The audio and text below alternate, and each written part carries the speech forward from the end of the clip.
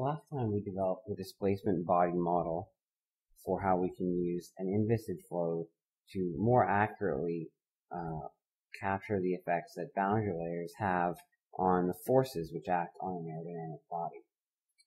Today, we're going to start by expanding that to look at wake modeling for the displacement body approach.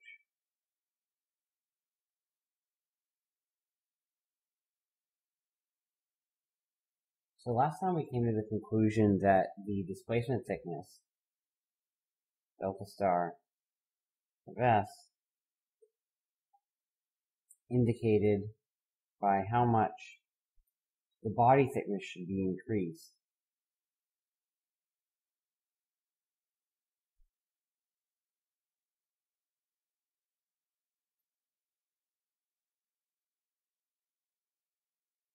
so that the equivalent inviscid flow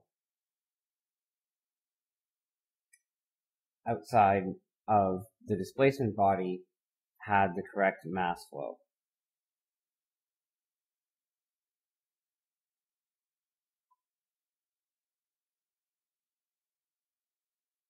Now we want to think about what happens at the body trailing edge and afterwards in the wake.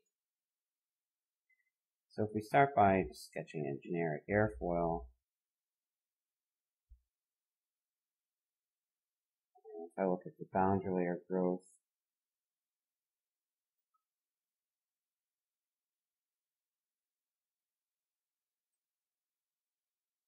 the wake begins here.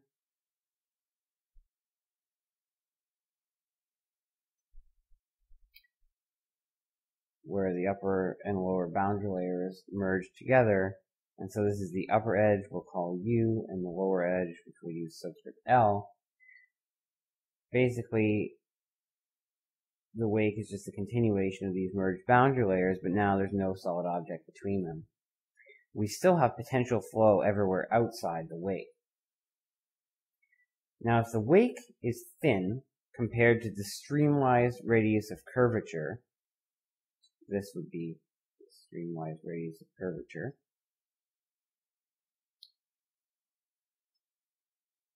Then the pressure will basically be constant across the wake, as it is inside the boundary layers. Now, this is usually true for wings uh, or other external aerodynamics flows. Where it may not be true is for something like a turbomachinery blade. Now, since the potential flow that's both above and below the wake has the same stagnation pressure, which comes from far upstream, then if the pressure on the upper side is approximately equal to the pressure on the lower side of the wake, then that must mean from Bernoulli that the velocities on both sides of the wake must be essentially the same, and we can just refer to that again as the edge velocity.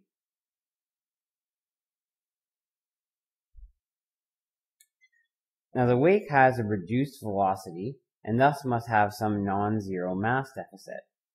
In general, it's also going to have non-zero normal mass fluxes.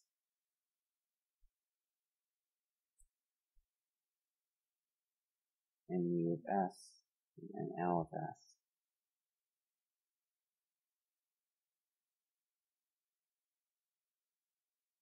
will have non-zero mass flux across them. Now if we use the same approach on the wake that we used in the boundary layer to figure out the normal mass flux, delta rho v, you can write this as rho v of s and n u minus rho v of s and n l. And again, we can write that as dm ds minus now nu minus nl eds will be ue. And this now represents uh, a jump condition because there's no wall that we're going down towards. Instead, there are two different fluid boundaries. So here again, uh, M of S has a similar definition in form when we were looking at the boundary layer.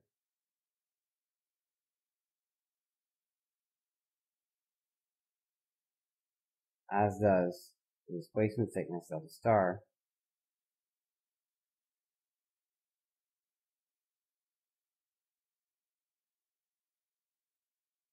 Minus rho u over rho. So the only difference in these definitions compared to the boundary layer case is a change in the bounds of integration, where we're going from uh, NL to NU instead of from 0 to NU. Using the displacement body approach and requiring that this delta rho v for the equivalent inviscid flow and the real flow be the same gives us delta n of S in the wake is delta star of S, which is exactly the same result as we obtained for the boundary layer. So delta n now represents the thickness of the wake displacement body in total, not one and a half of it. So that tells us how thick the wake or the displacement body representing the wake ought to be, but how do we know which way the wake points? Over the airfoil surface, we have a clear definition of the normal direction due to the local uh, body surface defining it. So we need to know the camber shape of the wake to be able to fully specify its development. This must be determined implicitly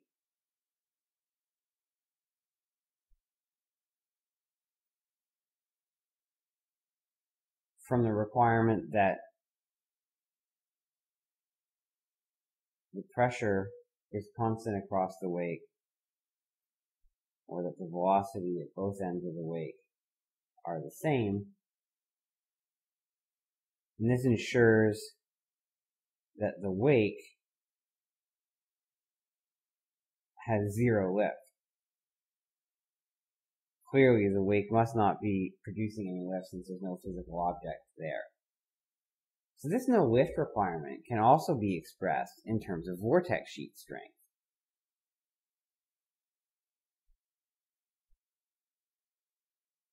So as we know with the displacement body model, there will be a vortex sheet on each surface, and if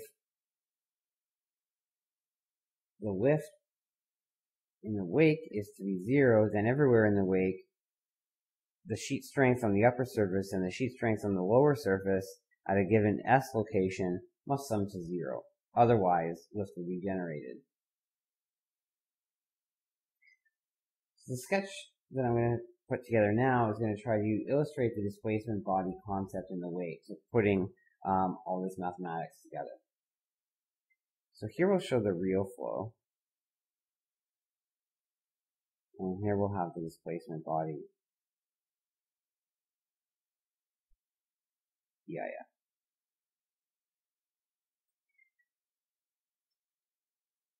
So the real flow streamlines converging. This is all going to be a little bit exaggerated. It's the S direction. N direction. While the wake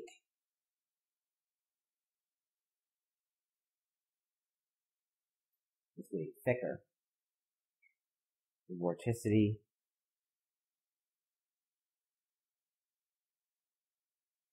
is distributed throughout the wake, omega of S and N. This dashed line is NL of S, and this one is NU of S. The velocity profile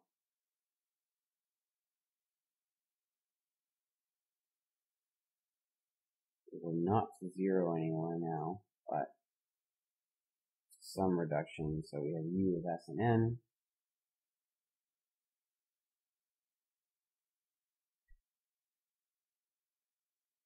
And what we have on the edge here is u of s on both the top and bottom.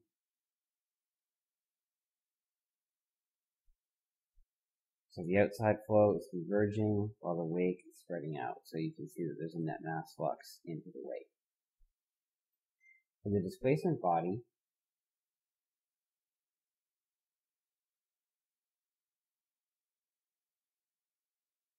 get that displacement body actually a little bit thinner.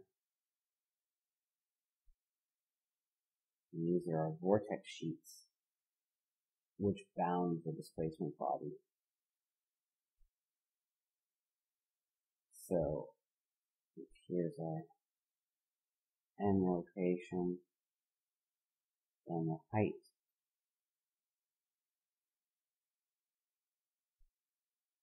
here is delta n of s. The velocity is now parallel tangent to the vortex sheets. And this is use of I inviscid of and N. And there's zero velocity inside the displacement body.